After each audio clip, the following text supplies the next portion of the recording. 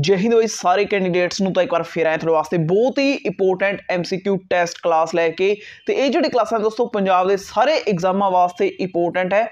ਸੋ ਜੇ ਤੁਸੀਂ ਕੋਈ ਵੀ ਐਗਜ਼ਾਮ ਦੇਣਾ ਹੋਏ ਤਾਂ ਬਹੁਤ ਹੀ ਧਿਆਨ ਨਾਲ ਇਹ ਕਲਾਸਾਂ ਜਿਹੜੀਆਂ ਅਟੈਂਡ ਕਰਿਓ।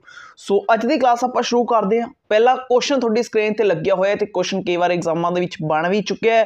ਕੁਐਸਚਨ ਪੁੱਛ ਰਿਹਾ ਜੀ, ਪਹਿਲੀ ਪੰਜਾਬੀ ਫਿਲਮ ਕਿਹੜੀ ਸੀ? ਪਹਿਲੀ ਪੰਜਾਬੀ ਫਿਲਮ ਕਿਹੜੀ ਸੀ? ਤਾਂ ਆਪਸ਼ਨ ਤੁਹਾਡੇ ਸਾਹਮਣੇ ਲੱਗੇ ਹੋਏ ਹੈ। ਤੇ ਸਹੀ ਜਵਾਬ ਕੀ ਹੋਏਗਾ ਜੀ?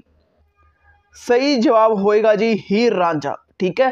ਤੇ ਇਹਦਾ ਜਿਹੜਾ origignal ਨਾਂ ਸੀ, ਉਹ ਸੀ ਜੀ ਹੂਰ ਪੰਜਾਬ ਦੀ ਬਾਅਦ ਵਿੱਚ ਇਹਨੂੰ ਚੇਂਜ ਕਰਕੇ ਹੀਰ ਰਾਂਝਾ ਨਾਂ ਰੱਖਿਆ ਗਿਆ ਸੀ ਤੇ ਫਿਲਮ ਦੋਸਤੋ ਰਿਲੀਜ਼ ਹੋਈ ਸੀ ਜੀ 1932 ਨੂੰ, ਠੀਕ ਹੈ? ਓਕੇ ਜੀ, ਅੱਗੇ ਚੱਲਦੇ ਹਾਂ। ਨੈਕਸਟ ਕੁਐਸਚਨ ਦੀ ਗੱਲ ਕਰਦੇ ਹਾਂ ਤੇ ਕੁਐਸਚਨ ਦੇ ਵਿੱਚ ਪੁੱਛਿਆ ਗਿਆ ਹੈ ਜੀ, ਵਗਦੇ ਪਾਣੀ ਦਾ ਕਵੀ ਕੌਣ ਹੈ? ਵਗਦੇ ਪਾਣੀ ਦਾ ਕਵੀ ਕੌਣ ਹੈ? ਤਾਂ ਇਸ ਸਵਾਲ ਦਾ ਸਹੀ ਜਵਾਬ ਹੋਏਗਾ ਜੀ ਦੀਵਾਨ ਸਿੰਘ ਕਾਲੇ ਪਾਣੀ ਵਗਦੇ ਪਾਣੀ ਜਿਹੜੀ ਰਚਨਾ ਹੈ ਦੀਵਾਨ ਸਿੰਘ ਕਾਲੇ ਪਾਣੀ ਦੀ ਹੈ, ਕਾਫੀ ਇੰਪੋਰਟੈਂਟ ਹੈ, ਧਿਆਨ ਰੱਖਿਓ। ਅੱਗੇ ਚੱਲਦੇ ਹਾਂ ਨੈਕਸਟ ਕੁਐਸਚਨ ਦੀ ਆਪਾਂ ਗੱਲ ਕਰਦੇ ਹਾਂ। ਤੇ ਵੈਰੀ ਵੈਰੀ ਇੰਪੋਰਟੈਂਟ ਕੁਐਸਚਨ ਪੁੱਛਿਆ ਗਿਆ ਜੀ, ਮੀਰੀ ਤੇ ਪੀਰੀ ਕੀ ਹੈ? ਤਾਂ ਸਵਾਲ ਦਾ ਜਵਾਬ ਤੁਸੀਂ ਬਹੁਤ ਹੀ ਆਰਾਮ ਨਾਲ ਦੇ ਸਕਦੇ ਹੋ। ਸਹੀ ਜਵਾਬ ਕੀ ਹੋਏਗਾ ਜੀ? ਇਹ ਤਲਵਾਰਾਂ ਨੇ, ਠੀਕ ਹੈ? ਆਪਸ਼ਨ ਏ ਇਸ ਸਵਾਲ ਦਾ ਬਿਲਕੁਲ ਸਹੀ ਜਵਾਬ ਹੋ ਜਾਏਗਾ, ਮੀਰੀ ਤੇ ਪੀਰੀ ਤਲਵਾਰਾਂ ਨੇ। ਠੀਕ ਹੈ? ਓਕੇ ਜੀ। ਨੈਕਸਟ ਕੁਐਸਚਨ ਦੀ ਆਪਾਂ ਗੱਲ ਕਰਦੇ ਹਾਂ। ਤਾਂ ਇੱਥੇ ਪੁੱਛਿਆ ਗਿਆ ਜੀ, ਮਹਾਰਾਜਾ ਦਲੀਪ ਸਿੰਘ ਕਿਸ ਦਾ ਪੁੱਤਰ ਸੀ? ਜਿਹੜੇ ਪੰਜਾਬ ਦੇ ਆਖਰੀ ਮਹਾਰਾਜੇ ਹੋਏ ਸੀ ਦਲੀਪ ਸਿੰਘ, ਉਹ ਕਿਸ ਦੇ ਪੁੱਤਰ ਸੀ? ਤੁਸੀਂ ਦੱਸਣਾ ਹੈ।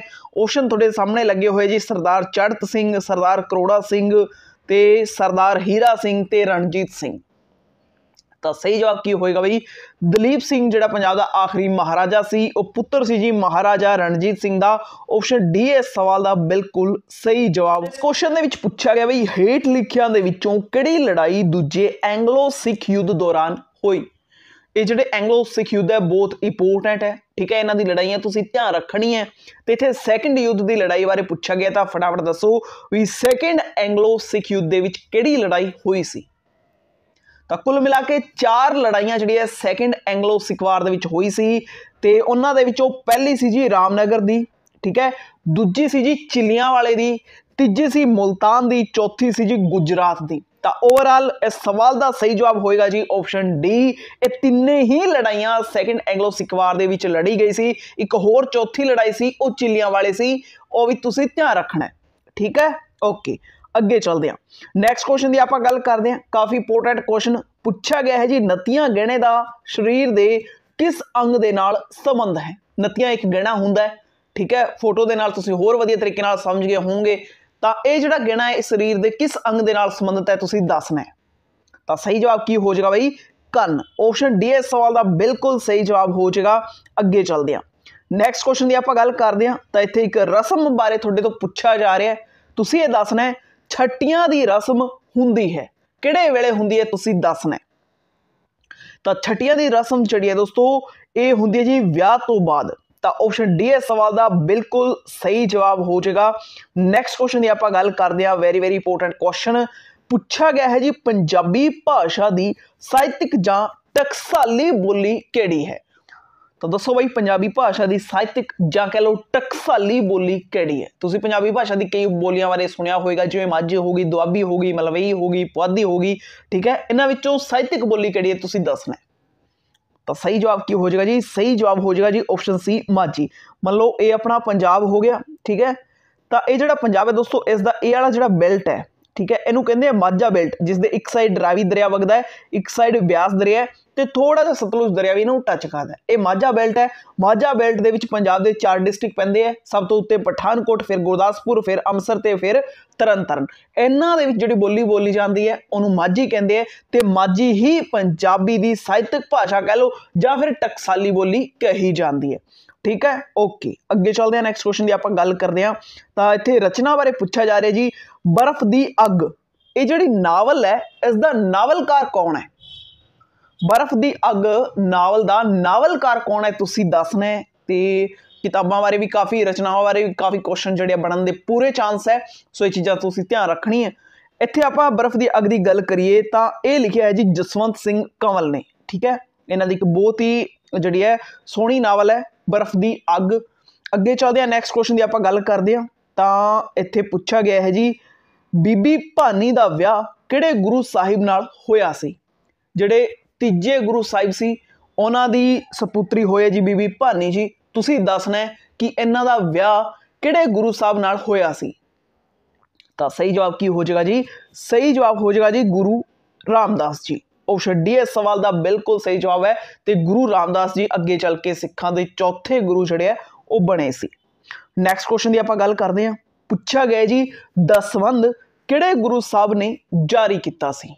ਦਸਵੰਧ ਆਪਣੀ ਕਮਾਈ ਦਾ 10ਵਾਂ ਹਿੱਸਾ ਗੁਰੂ ਘਰ ਦਾਨ ਕਰਨਾ ਇਹਨੂੰ ਦਸਵੰਧ ਕਹਿੰਦੇ ਆ।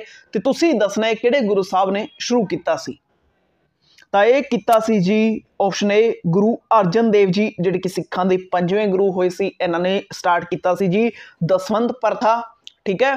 ਤੇ ਇਹ ਚੀਜ਼ ਤੁਸੀਂ ਧਿਆਨ ਰੱਖਣੀ ਹੈ। ਇਸ ਤੋਂ ਇਲਾਵਾ ਮੰਜੀ ਪ੍ਰਥਾ ਦੀ ਗੱਲ ਕਰੀਏ, ਗੁਰੂ ਅਮਰਦਾਸ ਜੀ ਨੇ ਸ਼ੁਰੂ ਕੀਤੀ ਸੀ। ਮਸੰਦ ਪ੍ਰਥਾ ਦੀ ਗੱਲ ਕਰੀਏ, ਗੁਰੂ ਰਾਮਦਾਸ ਜੀ ਨੇ ਸ਼ੁਰੂ ਕੀਤੀ ਸੀ। ਦਸਵੰਧ ਪ੍ਰਥਾ ਦੀ ਗੱਲ ਕਰੀਏ, ਤਾਂ ਇਹ ਜਿਹੜੀ ਹੈ ਗੁਰੂ ਅਰਜਨ ਦੇਵ ਜੀ ਨੇ ਸ਼ੁਰੂ ਕੀਤੀ ਸੀ। ਅੱਗੇ ਚੱਲਦੇ ਆ ਨੈਕਸਟ ਕੁਐਸਚਨ ਦੀ ਆਪਾਂ ਗੱਲ ਕਰਦੇ ਆ ਤਾਂ ਹੁਣ ਕੁਐਸਚਨ ਆ ਗਿਆ ਜੀ ਮਿਲਾਨ ਵਾਲਾ। ਕਰਦੇ ਆ ਤਾਂ ਇਹ ਜਿਹੜਾ ਕੁਐਸਚਨ ਹੈ ਦੋਸਤੋ, ਕਾਫੀ ਇੰਪੋਰਟੈਂਟ ਹੈ ਤੇ ਇੱਕੋ ਹੀ ਕੁਐਸਚਨ ਦੇ ਵਿੱਚ ਤਿੰਨ ਚਾਰ ਕੁਐਸਚਨ ਤੁਹਾਡੇ ਕਵਰ ਹੋ ਜਾਣਗੇ। ਸੋ ਇਸ ਕੁਐਸਚਨ ਦੇ ਵਿੱਚ ਕੁਝ ਸੰਸਥਾਵਾਂ ਦੇ ਨਾਂ ਲਿਖੇ ਹੋਏ ਆ ਠੀਕ ਹੈ?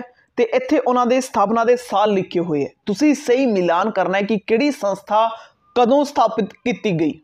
ਠੀਕ ਹੈ? ਤਾਂ ਹੋ ਜੋ ਸ਼ੁਰੂ। ਸਭ ਤੋਂ ਪਹਿਲਾਂ ਦੱਸੋ ਕਿ ਸ਼੍ਰੋਮਣੀ ਗੁਰਦੁਆਰਾ ਪ੍ਰਬੰਧਕ ਕਮੇਟੀ ਜਿਹੜੀ ਹੈ, ਉਹ ਕਦੋਂ ਬਣੀ? ਫਿਰ ਤੁਸੀਂ ਸਿੰਘ ਸਭਾ ਕਦੋਂ ਬਣੀ, ਇਹ ਦੱਸਣਾ ਹੈ। ਫਿਰ ਕਿਰਤ ਕਿਸਾਨ ਪਾਰਟੀ ਬਾਰੇ ਦੱਸਣਾ ਹੈ ਤੇ ਫਿਰ ਪੰਜਾਬ ਦੇ ਵਿੱਚ ਬ੍ਰਹਮ ਸਮਾਜ ਦੀ ਸਥਾਪਨਾ ਬਾਰੇ ਦੱਸਣਾ ਹੈ ਤੇ ਇਹਨਾਂ ਦੇ ਈਅਰ ਇੱਥੇ ਲੱਗੇ ਹੋਏ ਹੈ। ਤਾਂ ਚਲੋ ਫਿਰ ਸ਼ੁਰੂ ਕਰਦੇ ਹਾਂ। ਸਭ ਤੋਂ ਪਹਿਲਾਂ ਸ਼੍ਰੋਮਣੀ ਗੁਰਦੁਆਰਾ ਪ੍ਰਬੰਧਕ ਕਮੇਟੀ ਦੀ ਗੱਲ ਕਰੀਏ ਤਾਂ ਦੋਸਤੋ 1920 ਦੇ ਵਿੱਚ ਹੀ ਇਹ ਬਣੀ ਸੀ, ਠੀਕ ਹੈ। ਸਿੰਘ ਸਭਾ ਦੀ ਗੱਲ ਕਰੀਏ ਤਾਂ 1873 ਦੇ ਵਿੱਚ ਸਿੰਘ ਸਭਾ ਜਿਹੜੀ ਹੈ, ਇਹ ਬਣੀ ਸੀ। ਕਿਰਤ ਕਿਸਾਨ ਪਾਰਟੀ ਦੀ ਗੱਲ ਕਰੀਏ 1928 ਦੇ ਵਿੱਚ ਹੀ ਬਣੀ ਸੀ। ਪੰਜਾਬ ਵਿੱਚ ਬ੍ਰਹਮ ਸਮਾਜ ਦੀ ਆਪਾਂ ਗੱਲ ਕਰੀਏ ਤਾਂ 1863 ਦੇ ਵਿੱਚ ਹੀ ਬ੍ਰਹਮ ਸਮਾਜ ਦੀ ਸਥਾਪਨਾ ਜਿਹੜੀ ਹੈ ਪੰਜਾਬ ਦੇ ਵਿੱਚ ਹੋਈ ਸੀ। ਵੈਸੇ ਇਸ ਦੀ ਸਥਾਪਨਾ 1828 ਦੇ ਵਿੱਚ ਹੋਈ ਸੀ ਬਟ ਪੰਜਾਬ ਦੇ ਵਿੱਚ ਆਪਾਂ ਗੱਲ ਕਰੀਏ ਤਾਂ 1863 ਦੇ ਵਿੱਚ ਪਹਿਲੀ ਵਾਰ ਜਿਹੜਾ ਬ੍ਰਹਮ ਸਮਾਜ ਪੰਜਾਬ ਦੇ ਵਿੱਚ ਸਥਾਪਿਤ ਹੋਇਆ ਸੀ। ਸੋ ਜਿੱਦਾਂ ਦੇ ਇਹ ਲਿਖੇ ਹੋਏ ਬਿਲਕੁਲ ਸਹੀ ਸਿਸਟਮ ਦੇ ਨਾਲ ਲਿਖੇ ਹੋਏ ਹੈ ਠੀਕ ਹੈ? A ਦੇ ਸਾਹਮਣੇ 1 ਤੇ B ਦੇ ਸਾਹਮਣੇ 2 C ਦੇ ਸਾਹਮਣੇ 3 ਤੇ D ਦੇ ਸਾਹਮਣੇ 4 ਐਕਿਊਰੇਟ ਲਿਖੇ ਹੋਏ ਹੈ ਅੱਗੇ ਚੱਲਦੇ ਹਾਂ ਨੈਕਸਟ ਕੁਐਸਚਨ ਦੀ ਆਪਾਂ ਗੱਲ ਕਰਦੇ ਹਾਂ। ਤਾਂ ਇੱਥੇ ਪੁੱਛਿਆ ਗਿਆ ਹੈ ਜੀ, ਵੱਟੇ ਦਾ ਵਿਆਹ ਕੀ ਹੁੰਦਾ ਹੈ? ਵੱਟੇ ਦਾ ਵਿਆਹ ਕੀ ਹੁੰਦਾ ਹੈ? ਤਾਂ ਵਟੇ ਦਾ ਵਿਆਹ ਹੁੰਦਾ ਹੈ ਜੀ, ਕੁੜੀ ਦੇਣੀ ਤੇ ਕੁੜੀ ਲੈਣੀ। ਆਪਸ਼ਨ ਡੀ ਇਸ ਸਵਾਲ ਦਾ ਬਿਲਕੁਲ ਸਹੀ ਜਵਾਬ ਹੋ ਜਾਏਗਾ, ਠੀਕ ਹੈ? ਨੈਕਸਟ ਕੁਐਸਚਨ ਦੀ ਆਪਾਂ ਗੱਲ ਕਰਦੇ ਹਾਂ। ਤਾਂ ਇੱਥੇ ਫੇਰ ਇੱਕ ਰਚਨਾ ਬਾਰੇ ਕੁਐਸਚਨ ਪੁੱਛਿਆ ਗਿਆ ਜੀ। ਦੁੱਧ ਦਾ ਛੱਪੜ ਕਿਸ ਦੀ ਰਚਨਾ ਹੈ?